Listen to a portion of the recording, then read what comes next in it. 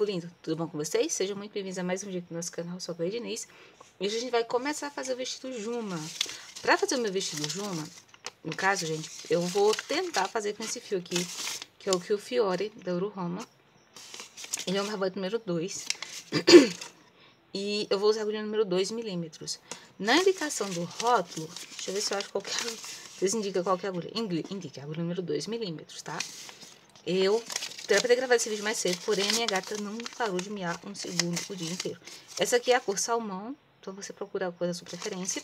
E você também pode usar o fio da sua preferência. Sabe outra coisa que você pode fazer que vai ajudar muito mesmo no canal? É você deixar o like, se inscrever, compartilhar, clicar no sininho, ativar as notificações, porque todo dia sai vídeo novo aqui no canal. Eu conto com a tua companhia todos os dias pra gente produzir um conteúdo de boa qualidade, sempre, tá bom? Minha gata já vai começar? Já porque eu falei um pouquinho mais alto, vou tentar falar bem baixinho pra não me ouvir, tá bom? Eu vou começar o bojo da seguinte forma. O ideal é que você tenha um bojo base em casa, tá bom? Vou fazer a base das minhas correntinhas aqui, que eu já sei o tamanho que é. Você vai pegar o bojo, dobrar ele ao meio e vai pegar metade da medida do bojo, tá bom? Digamos que... É que eu não tenho nenhum bojo na mão aqui, gente. Mas vai pegar o bojo, literalmente. É um bojo triangular, né? Dá pra fazer triangular? Dá. Você vai pegar aquele bojo triangular, vai encontrar as duas pontinhas dele na base e você vai pegar metade daquela medida dele, tá? E você vai fazer a base de correntinhas. No caso aqui, duas, três, quatro, cinco, seis, sete, oito, nove, dez, onze, doze, treze, 14. Acho que isso aqui dá. Não, vou botar as 15, 16, certo? Fiz a minha base aqui com 16 correntinhas. Eu vou subir um, dois, três para subir. Eu vou trabalhar um ponto para cada ponto da minha base. Dessa forma, tá bom? Eu vou tentar falar mais devagar, mas é complicado. Eu não consigo falar devagar, como vocês já podem ter notado, né? Eu sempre falei rápido. Eu tô tentando falar mais devagar, falar um pouco. Se eu falar mais alto, a gata não vai, não vai começar a miar também. E assim, vamos trabalhar um ponto para cada ponto da minha base. Tá joia? Vamos nós? Bora nós. Eu vou usar esse fio aqui porque foi o fio que eu encontrei que eu acredito que vai ser suficiente, vai ser funcional, dá pra gente fazer. Eu tenho mais linha dele aqui sobrando em casa, dá pra fazer também, dá pra... É, acho que tem umas coisas que tá começado com ele que eu consigo desmanchar e fazer esse. E é isso, bora. Dá-lhe que dá-lhe, sim, bora nós, né? Um ponto pra cada ponto da minha base, até chegar na outra extremidade. Pegou a milha do bojo, pegou a base do bojo, dobrou, fez a base correntinha, certo? Essa é minha base inicial. Vou virar o meu trabalho. Uma, duas, três para subir, um ponto para cada ponta da minha base. Eu vou fazer o seguinte. Eu vou fazer um quadrado perfeito. Como que é um quadrado perfeito? A quantidade de centímetros que eu tenho aqui de base tem que ser a mesma de altura. Por isso que eu vou fazer, eu vou medir aqui, ó. Eu tenho aqui embaixo 6 centímetros de base. Para cá, eu também tenho que ter 6 centímetros. Então, vou trabalhar até tal quadradinho perfeito? Posso fazer carreira dupla? Pode. Pode fazer duas carreiras de uma vez só, não tem problema. É, nesse caso aqui, eu não aconselho, tá bom? Fazer carreira dupla, não. Nesse square aqui, não, nesse square, não, nesse tipo de bojo, eu não aconselho. Porque a tensão do ponto do, do ponto que você trabalha a carreira dupla, ela é diferente desse daqui, tá? Então, nesse caso aqui, eu não aconselho a carreira dupla. Mas se você quiser fazer, se pra você não tiver problema, pode fazer, tá ok? Eu vou trabalhar aqui as minhas carreiras até estar o quadrado perfeito. Eu também posso saber se o quadrado é perfeito quando eu dobrar ele ao meio e ele formar um triângulo perfeito. Isso também é uma outra forma de você saber que está no ponto. Porém, a base inicial do meu trabalho é a medida do meu bojo. Eu vou trabalhar a base do bojo até o tamanho que eu preciso, metade da medida da base do bojo, e aí eu trabalho o quadrado perfeito a partir dessa medida. Cheguei aqui, virei três correntinhas novamente e volto fazendo a minha base de trabalho. Eu vou editar editando o vídeo do canal da minha mãe, gente. O vídeo ficou com uma hora e lá vai patada de mula. Porque, assim, é bem demorado. O vídeo ficou bem grande. Então, meu trabalho é bem grande mesmo. Então, espero que ela goste. Vou começar a adiantar ele. Pra quem quiser assistir. E quem quiser, se inscreve no canal da minha mãe, Astatia. Só você procura lá que você vai gostar bastante. Meus gatos estão abrindo a porta, meus gatos estão abrindo a porta. Dia eu consigo colocar uma porta nesse quarto que os gatos não conseguem entrar. Eu vou trabalhar aqui as carreiras que precisam e volto com vocês. Olha só, tá o quadrado perfeito. Como que eu sei que tá um quadrado perfeito? Ó, porque essa ponta encontrou aqui, essa ficou zerada e essa ficou zerada. Isso é um quadrado perfeito. Agora, o que a gente vai fazer? Eu vou trabalhar assim, olha, indo e voltando. Vou virar pra cá e vou subir. Três correntinhas pra subir. Um ponto para cada ponto da minha base, tá bom? Simples assim. Essa é a opção 1 um de como você fazer o bojo, tá? É a opção que eu acredito que vai ser mais fácil a gente fazer para o nosso trabalho ficar perfeito, ficar bonito no nosso clube, tá?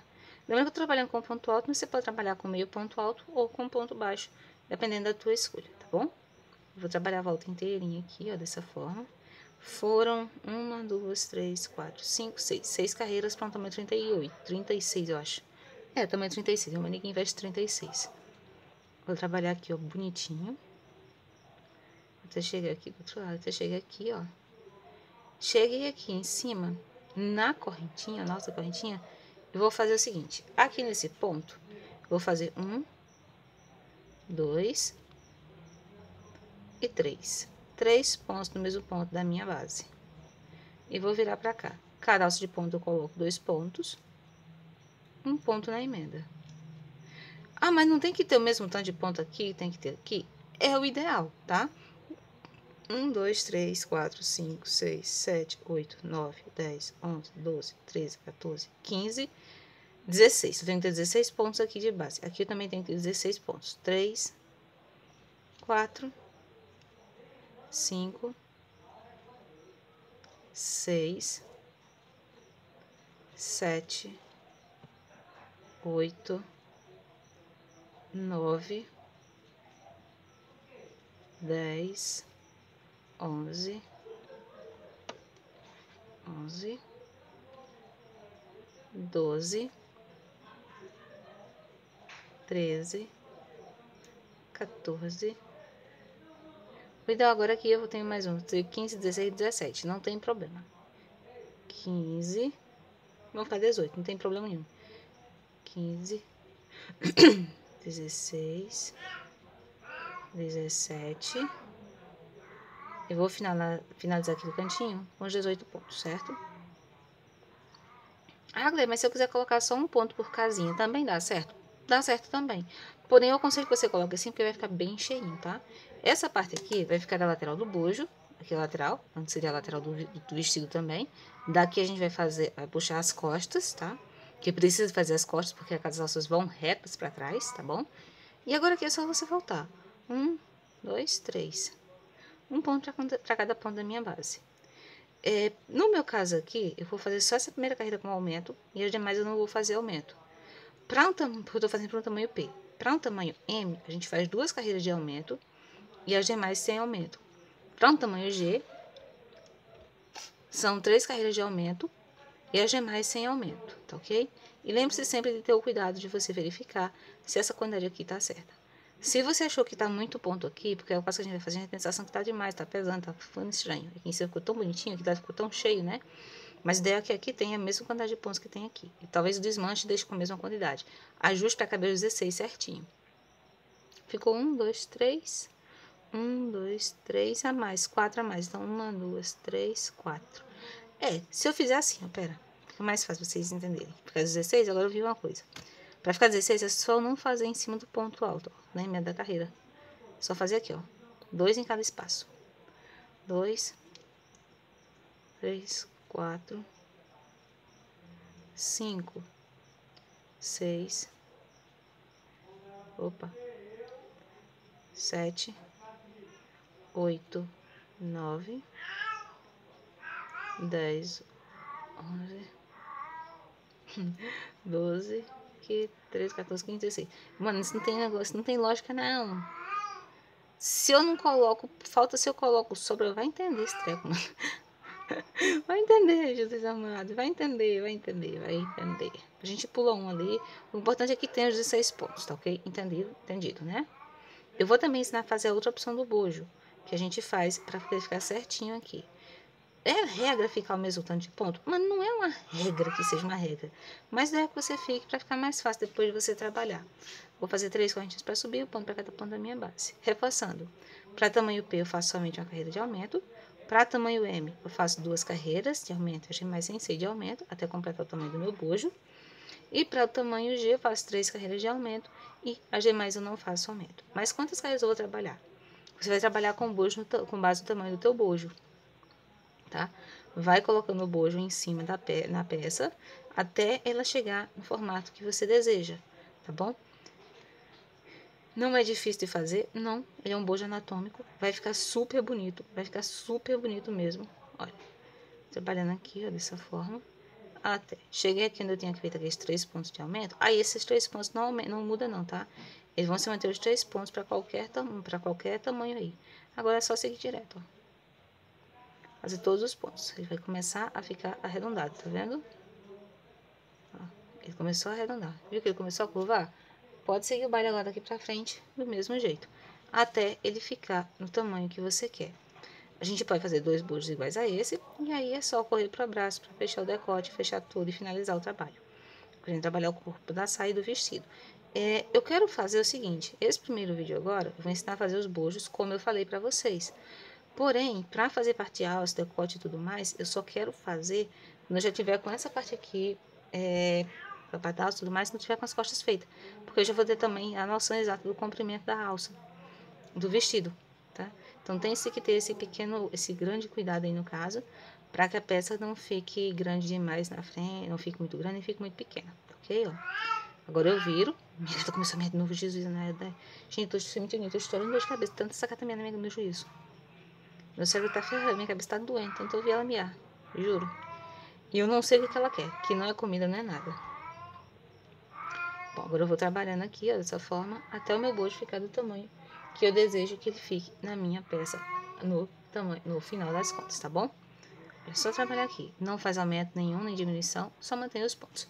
Eu vou mostrar no manequim como que ele tem que ficar. Ó, o bojo vai ficando dessa forma, tá? O quadrado vai ficar aqui formando na lateral e ele vai subindo aqui, até você ter a altura que você deseja. Tá mostrando na parede, ó. Tá trabalhando, o quadrado ficou aqui nesse ponto, tá vendo, ó? A gente vai trabalhar indo e voltando até chegar na altura que a gente quer. Quando chegar aqui na altura, mais ou menos essa altura aqui, a gente vai vir aqui no centro. Aliás, quando ele chegar na alta largura que a gente quer aqui, que precisa... Gente, tô, tô gravando pior do que minha mãe. é, quando ele chegar aqui na largura que eu quero que ele tenha aqui nessa base, mais um pouquinho aqui, mais ou menos, mais umas três carreiras, umas duas carreiras aqui no meu caso, a gente para e a gente trabalha somente na parte de cima, diminuindo para formar o ombro bom? Eu quero ver se eu faço isso no próximo vídeo com vocês, porque eu tô na dúvida ainda se eu coloco esse bojo ou se eu coloco o outro. Que eu vou ensinar nesse vídeo também a segunda opção de bojo para vocês colocarem no cropped. Aliás, cropped não, né, gente? No vestido, né? A corda... Gente eu só tô com o tic-tac longe. Para nossa segunda opção de bojo, eu vou usar esse fio aqui de uma cor diferente para que todo mundo consiga ver diferenciar o bojo 1 do bojo 2, tá?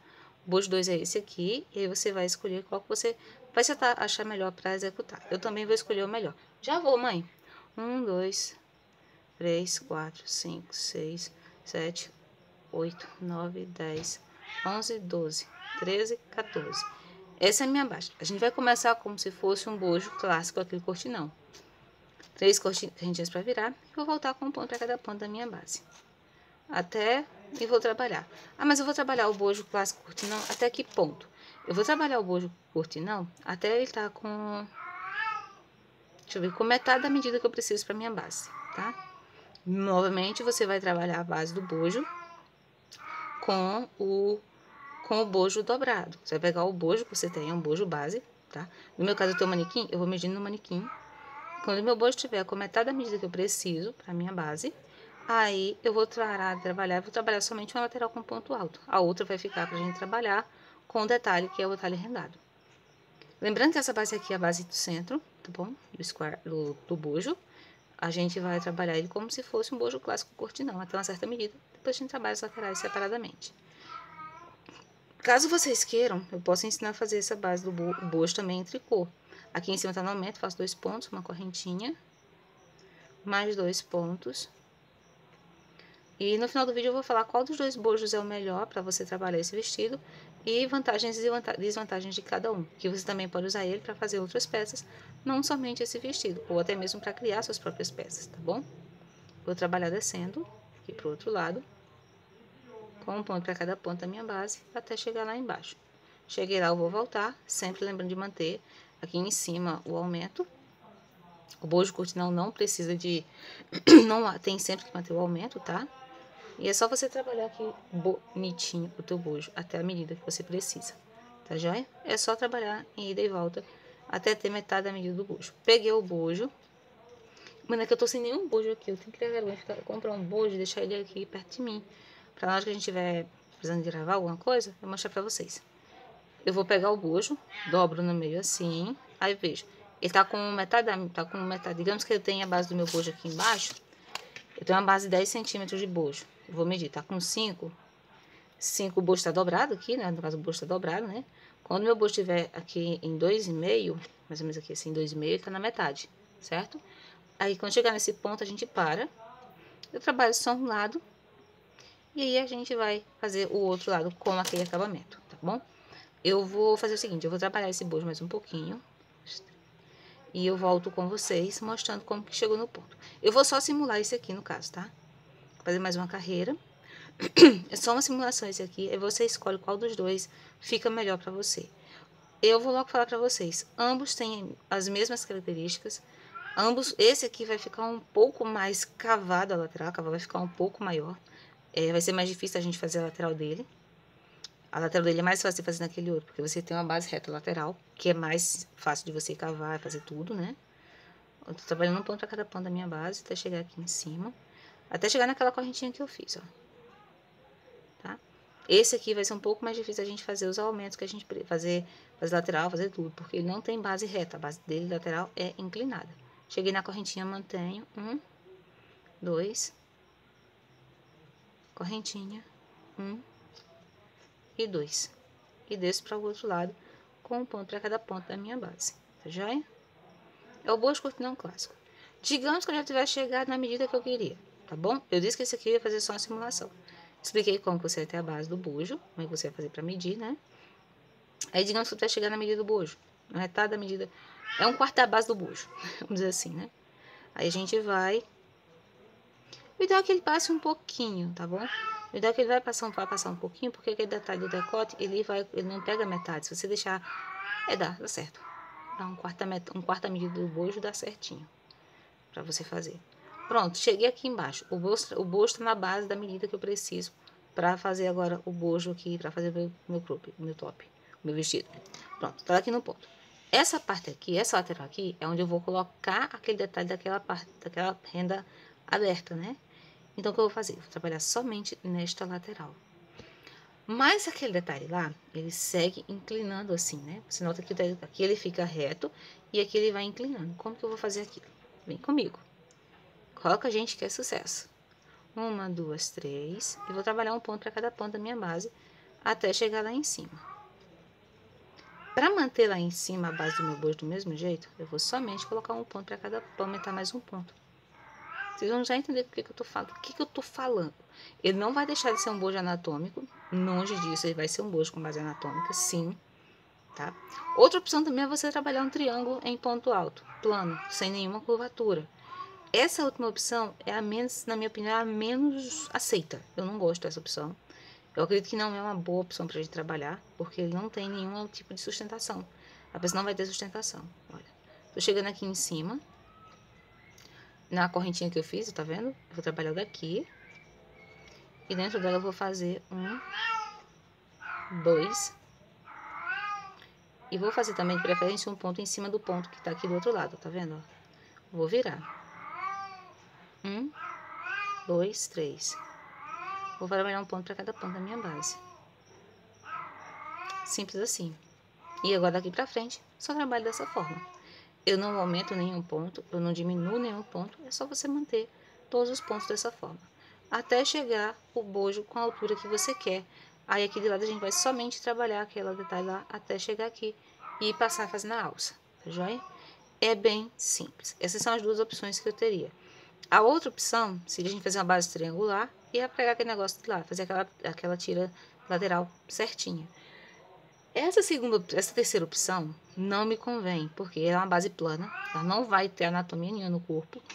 É legal para quem, quando você está fazendo para uma pessoa que não tem nenhum volume de seio, tá? Se você tiver o mínimo volume de seio, não é aconselhável, tá bom? Porque ela não vai ter sustentação, ela não vai ter estrutura nenhuma. E se você colocar um bojo, provavelmente ela vai dar uma deformada bem enjoadinha. Mas essa daqui é a melhor opção. Entre as duas que eu apresentei para vocês, qual é que eu considero melhor? Ambas. As duas vão ficar muito boas. Eu indico que você procure qual das duas você se adapta melhor para trabalhar e qual das duas você vai se sentir melhor para confeccionar o seu bojo. Como artesã, eu sou meio suspeita para falar, porque as duas são formas bonitas e diferentes de fazer. Não vejo vantagem e desvantagem que vem interferir diretamente no aspecto final da peça na estrutura final, nem pouco esteticamente falando. Essa daqui vai ficar com a curvatura bem mais sinuosa, o decote vai ficar bem mais V do que aquele outro, somente isso. Talvez eu opte por fazer esse bojo aqui em vez daquele no vestido que eu vou fazer com vocês. Para trabalhar a lateral, vai ser a mesma coisa do outro. A gente vai começar com base correntinha, com uma extensão de correntinhas aqui do cantinho, e vai trabalhar em ida e volta até chegar no tamanho que a gente quer a tira. Porém, isso eu vou fazer no outro vídeo, quando eu já tiver com os dois bojos feitos. Esse vídeo de hoje foi mais para apresentar a vocês as duas opções de bojo que eu tinha em mente para o vestido, tá bom? Quero agradecer o carinho, a atenção, a companhia de vocês e até o próximo vídeo, se Deus quiser. Valeu!